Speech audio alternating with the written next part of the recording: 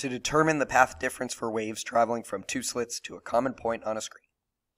If the screen is a large distance away, bigger with the distance between the little d, then the angle theta and the L is nearly the same for each. The difference in the figure, simple trigonometry shows it to be d sine theta, right? Our path difference is just our opposite sine theta, where d is the distance between the slits. To obtain constructive interference for a double slit, the path difference must be an integral multiple of the wavelength, or d sine theta equals n times lambda, for n equals 0, 1, negative 1, 2. You get constructive. We would call n the order of the interference. So in your data booklet, you are given this relationship in topic 4.4, constructive interference, path difference equals n times lambda. Destructive interference, path difference equals n plus 1 half lambda. All right, on to a practice problem. Suppose you pass light from a helium neon laser through two slits separated by 0.01 millimeters and find the third bright line on the screen is formed at an angle of 10.95 relative to the incident beam. What is the wavelength of the light? What color light should this be? The third bright line is a third order constructive interference, which means that n equals 3. We're given little d to be 0.01 and theta to be 10 equal theta equals 10.95 degrees. The wavelength can then be found using the equation d sine theta equals n times lambda for constructive interference. These are bright fringes, so this is constructive interference. Therefore, the equation is d sine theta equals n times lambda. Remember, this d sine theta is your path difference. By solving this equation for wavelength, we get theta equals d sine theta times n. Plug in your numbers, and you're going to get 6.33 times 10 to the negative 7 nanometers, or 633 nanometers. If you messed it up, check to make sure you're in degrees. Degrees only unless in rads. So, the second part of the question, what color is it? What color does this um, pertain to? Well, if it's 633, we're going to be red.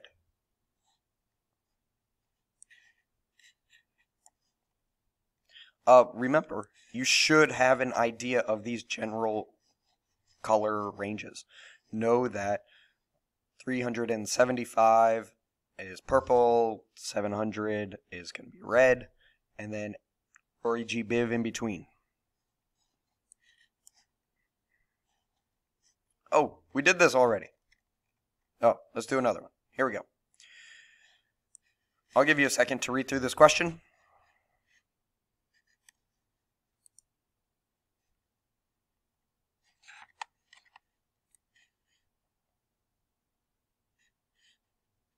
If you need more time, just go ahead and pause it. All right, so first question state one way to ensure that light incident on the slits is coherent. Oh, there's a trick in the question. These are dark fringes. Dark fringes are shown here, not the light ones. The light ones, remember, are where constructive interference happens. The dark ones are where destructive interference happens. So, one way to ensure light is coherent, you can use a single light source. Thomas Young used the sun. You could put a single slit before the double slit, or you could use a laser. Any one of those ways is going to give you a coherent light. On to B. Explain why the screen appears dark at point P. It's going to be dark at point P because it's going to arrive pi out of phase. This will produce destructive interference. For this to be true, the path difference must be half of a wavelength. And then finally, determine the change in angle when blue light of 440 nanometers is used. Uh, because we're keeping everything in the equation the same, we can just use a ratio of the wavelengths and then use that ratio multiplied by the original angle to give you the new angle 0.003 rads. Do not forget about ratios. Uh, if you're comparing two things, use ratio. Oh, but wait. Question asks for a change in angle. That's kind of the second curveball on this question. So we're going to subtract the new angle from the old angle to get the answer of 0.0015 rads. I know the temptation is to stop there, but make sure at the end of every question you ask yourself, did I, did I answer the question? And let's do one last one. So we have a beam of microwaves incident on identical narrow slits S1 and S2. When a microwave is placed at W, it is equidistant from the slits. A maximum in intensity occurs or is observed. The receiver is then moved towards Z along a parallel to the slits. Intensity maxima are observed at X and Y with one minimum between WX and Y consecutive maxima.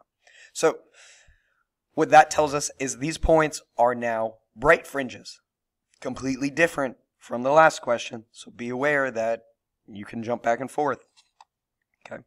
So questions.